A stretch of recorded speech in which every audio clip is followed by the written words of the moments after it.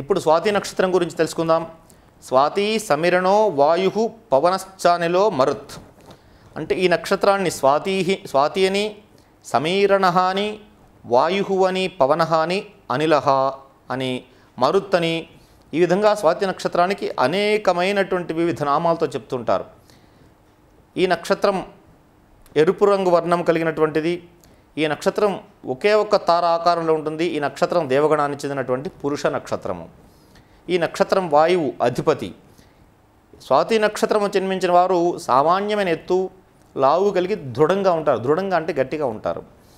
చిన్న ముక్కు వంపు తిరిగినటువంటి కనుబొమ్మలు కలిగి ఉంటారు. అనర్గళమైనటువంటి వాక్సిద్ధి ఉంటుంది వీళ్ళకి. అంటే ఏ విషయాన్ని ఇచ్చి మాట్లాడవయ్యా బాబు అంటే అనర్గళంగా ప్రవాహంలాగా మాట్లాడుతూనే ఉంటారు. అయితే ప్రతి విషయానికి కూడా సందేహాలు ఎక్కువగా ఉంటాయన్నమాట. సమాజంలో ఉండే కట్టుబాట్లను ఎదిరించి తన గత వ్యక్తి తన యొక్క వ్యక్తిగత అభీష్టానుసారం నడుచుకుంటుంటారు. సమాజం అంతా ఒకవైపు నడుచుకుంటుంటే అది నచ్చితేనేమో అలాగే వెళ్ళిపోతుంటారు. కొంతమంది నచ్చినా నచ్చకపోయినా సమాజం వైపు ప్ర- సమాజం వైపు ప్రయాణం చేస్తారు. కానీ వీళ్ళకి నచ్చకపోతే ఆ కట్టుబాట్లను ఎదిరించి వీళ్ళు వ్యక్తిగతంగా వీళ్ళకి ఎటువంటి ఆలోచన ఉంటుందో ఆ ఆలోచనలో ఫాలో అవుతూ ఉంటారనమాట నలుగురు అవునన్నది వీరు కాదనడం అసందర్భోచితంగా వాదించుట ఉంటుంది. అంటే ఎవరైతే నలుగురు ఇది కరెక్ట్ అంటారో ఇది కరెక్ట్ కాదని వాదిస్తూ ఉంటారనమాట అట్లాగే అసందర్భోచితంగా సందర్భం కాని చోట అనవసరమైన వాదన పెట్టుకుంటూ ఉంటారు. పైకి స్వాదు స్వభావంలాగా ఉంటారు. కానీ అంతరార్థంలో క్రోధము అహంభావము మొండి పట్టుదల కలిగి తమకు తోచిన విధంగా ప్రవర్తిస్తూ ఉంటారు. అంటే పైకి మాత్రం వీళ్ళు చాలా మంచివాళ్ళు. వీళ్ళతో స్నేహం చేయవచ్చు. వీళ్ళు చక్కటి మనస్తత్వం కలిగిన వారని మనం అనుకుంటాం. కానీ అంతర్గతంగా మాత్రం వీళ్ళ లోపల క్రోధం ఉంటుంది కోపం అహంభావం ఉంటుంది నేనే గొప్ప అనే భావం ఉంటుంది మొండి పట్టుదల కూడా ఉంటుంది. విద్య ప్రారంభంలో కాస్త వెనుకబడినప్పటికీ కూడా క్రమేణా వృద్ధి చెందుతారు. ఆధ్యాత్మికంగా నిర్లిప్త భావాలు ఉంటాయి. వివాహ విషయంలో స్వతం సొంత అభిప్రాయానికి విలువనిచ్చి పెద్దల యొక్క మాట ప్రకారం నడుచుకునే అవకాశాలు తక్కువగా ఉంటాయి. అంటే వివాహం ఇందాక చెప్పాను కదా ఏ విషయమైనప్పటికీ కూడా వీరికి నచ్చితేనే దాంతో అనుసరిస్తారు ఆ విషయాన్ని.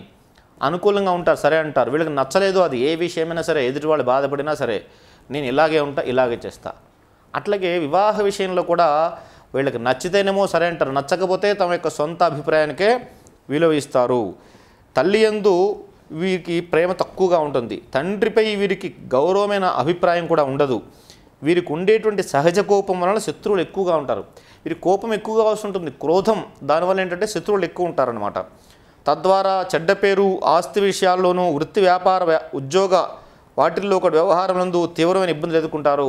చేసేటువంటి వృత్తిలో కానీ ఉద్యోగంలో కానీ వ్యాపారంలో కానీ వ్యవహారంలో కానీ స్వయం ఉపాధి రంగాల్లో కానీ ఎక్కడ ఉన్నప్పటికీ కూడా వీరి కోపం వలన ఏంటంటే అక్కడ ఇబ్బందులు ఎదుర్కొంటూ ఉంటారు. ఆరోగ్య విషయం కూడా సాధారణంగా ఉంటుంది.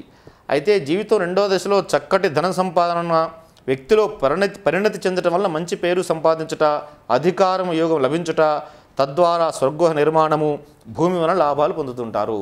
జీవితము రెండో దశలో అంటే మధ్య వయస్సు దాటిన తర్వాత వీరి యొక్క మనస్సులో వ్యక్తిలో ఈ క్రోధము అహంకారము మొండి పట్టుదల ఇవన్నీ పోయి పరిణతి అంటే మార్పు చెందుతారు.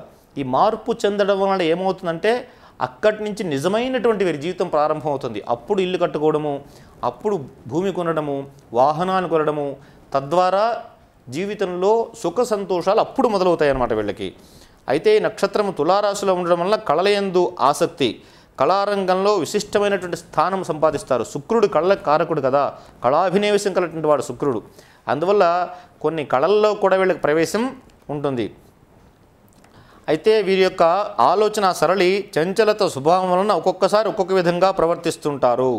వీరు ఆ చంచలమైనటువంటి స్వభావం అనట వాయువు గాలి ఎక్కడ ఎప్పుడు ఎక్కడ వేగంగా వీస్తుందో ఎక్కడ నెమ్మదిగా వీస్తుందో ఎక్కడ అసలు వీయదో తెలియదు అనమాట ఈ నక్షత్రాధిపతి వాయువు గాలి. కాబట్టి ఏంటంటే వీరు ఎప్పుడు ఎక్కడ ఎట్లా ఉంటారో తెలియదు.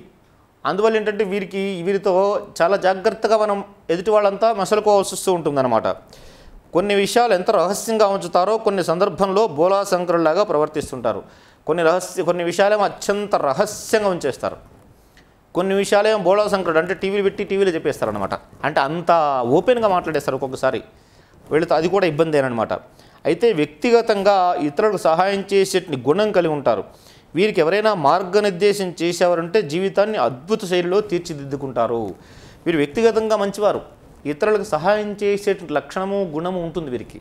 అట్లాగే వీరి జీ వీరికి వీరికి ఈ పని చేస్తే బాగుంటుంది ఈ మార్గం వెళ్తే బాగుంటుందని ఎవరు ఎవరైనా సరే ఒక డైరెక్షన్ అంటే ఒక గాడ్ ఫాదర్ వెనకాల ఉండి వీళ్ళు కనుక నడిపించినట్లయితే వీరి జీవితాన్ని అద్భుతంగా తీర్చిదిద్దుకుంటారు వీళ్ళు. ఈ నక్షత్రం మొదటి పాదంలో అంటే ప్రథమ పాదంలో జన్మించిన వారికి ఉత్పన్నాంశ అని పేరు. ఇందు జన్మించిన వారు మంచి కీర్తి కలిగి దానధర్మాదులు కలిగి వర్ధిల్లుతూ అనర్గళమైన వాక్కుతో వాక్ చాతుర్యంతో సర్వజ్ఞత్వం కలిగి ప్రవర్తిస్తూ ఉంటారు. వీళ్ళు అన్ని తెలిసిన విషయాలు ఉంటాయి వీళ్ళకి ఎక్కువగా వీళ్ళు సర్వజ్ఞత్వం అంటే అన్ని విషయాలు తెలియడం. ద్వితీయ పాదంలో జన్మించిన వారికి ధనాంశ అని పేరు. ఎందు జన్మించిన వారికి నీతి నియమములు అంతగా పట్టించుకోరు. చేసిన వా- చేసిన మేలు మరిచిపోయేటువంటి తత్వం కలిగి ఆరంభించిన కార్యము నేర్పుతో పూర్తి చేసి సుఖ సంతోషాలతో జీవిస్తుంటారు. అంటే ఎవరైనా మేలు చేశారనుకోండి కొద్ది కాలం గుర్తుపెట్టుకుంటారు వీళ్ళు. తర్వాత వాళ్ళని వదిలేస్తారనమాట తృతీయపాదంలో జన్మించడాన్ని ఉగ్రాంశ అని పేరు. పేరుకు తగ్గట్టుగానే తీవ్రమైనటువంటి ఆవేశము క్షణక్షణము మూర్ఖత్వంతో ప్రవర్తిస్తుంటాను ఇలాగే ఉంటా ఏదైతే అదవుతుంది అంటూ అనుకుంటూ శత్రువుల్ని పెంచుకుంటూ ధన విషయంలో అనేక కష్టాలు పడుతూ ఉంటారు. చతుర్థ పాదంలో జన్మించిన వారికి ఉత్కృష్టాంశ అని పేరు. ఇందు జన్మించిన వారి అందరి మనసులు కూడా దోచుకొని చక్కటి విద్యను అభ్యసించి వినయ సంస్కారాలు పొంది ధనముతో సుఖంతో జీవిస్తుంటారు. ఈ నక్షత్రంలో లక్ష్మీనారసింహ వారు నారసింహస్వామి వారు జన్మించారు. అందువల్ల ఏంటంటే ఆ లక్ష్మీ నారసింహస్వామి వారి లక్షణాలు కొన్ని వస్తాయి. ఎవరికి భయపడకపోవడము లేదంటే వాళ్ళని భయపెట్టడము. అట్లాగే తనకు కావలసిన పనిని ఎంత ఆవేశంతో అనేది సాధించుకోవడము ఇలాంటి ప- ఇలాంటివన్నీ కూడా జరుగుతూ ఉంటాయి. ఈ నక్షత్రంలో జన్మించిన స్త్రీలకు ఎలా ఉంటారు స్త్రీలు అంటే కోమలంగా ఉంటారు చంచల నేత్రాలు కళ్ళు అతి వేగంగా అటు ఇటు తిప్పుతూ ఉంటారు కోలముఖం ఉంటుంది చిరుకోపిష్టి అయినప్పటికీ కూడా బయటకు కనపడరు. కోపము మాట్లాడితే కోపం వస్తుంది బయటకు కనపడకుండా జాగ్రత్త పడుతుంటారు శారీరకంగా అంత దృఢత్వం లేకపోయినప్పటికీ కూడా నిత్య జీవితంలో కార్యభారాలు మోస్తుంటారు శరీరంగా అంత బలంగా ఉండరు కానీ నిత్య కార్యక్రమాలు చేయడానికి కావాల్సిన శారీరక శక్తి అయితే వీరి దగ్గర ఉంటుంది. సంగీతంలోనూ సాహిత్యంలోనూ వీళ్ళకి ఎక్కువ సమయాన్ని కేటాయిస్తూ ఉంటారు. తాము ప్రతిపాదించిన విషయాన్ని క్లుప్తంగా చెప్తారు. ఏదైతే చెప్పాలనుకుంటారో దాన్ని ఊరికే ఓ పెద్ద రామాయణంలాగా సృష్టించి కాకుండా చెప్పాలనుకున్న విషయాన్ని క్లుప్తంగా అర్థమయ్యేట్టుగా చెప్పేటువంటి లక్షణం ఉంటుంది. చక్కటి ఆలోచన పటిమతో భవిష్యత్తుకు సంబంధించిన విషయములందు ప్రణాళికలు రచిస్తూ ఉంటారు. తామరాక మీద నీటి బొట్టు వలె ఎప్పటికి ఏది అవసరమో అంతవరకే సంబంధ బాంధవ్యాలు కలిగి ఉంటారు. తామరాక మీద నీటి బొట్టు అంటే తెలుసా మీకు? తామరాకు ఉంటుంది దాని మీద ఒక చుక్క నీరు ఉందనుకోండి అది అటు ఇటు దొరులుతూ ఉంటుంది. దొర్లినప్పుడు ఇప్పటికీ కూడా ఆ తామరాకి తడి అంటదన్నమాట. కానీ దాని మీదే ఉంటుంది. చూస్తే తర్వాత నీటిని ఉంచేస్తే అక్కడెక్కడ తడి అంటదు. అంటే ఎట్లా ఉంటారంటే తామరాకు మీదే ఉంటుంది తడి అంటకుండా ఎట్లయితే ఉంటుందో వీళ్ళు కూడా ఈ ప్రాపంచిక విషయాలన్నింటిలో కూడా అందరితో కూడా స్నేహం చేస్తూ ఉంటారు. ఎంతవరకు అవసరమో అంతవరకు మాత్రమే చేస్తూ ఉంటారన్నమాట. వివాహ ప్రయత్నాలు కూడా కాస్త ఆలస్యంగా నెరవేరుతుంటాయి జీవితంలో వీరికి. అయితే విద్యా వినయ సంపన్నులు మంచి ఉన్నత స్థితిలో ఉన్నటువంటి భర్త లభిస్తాడు.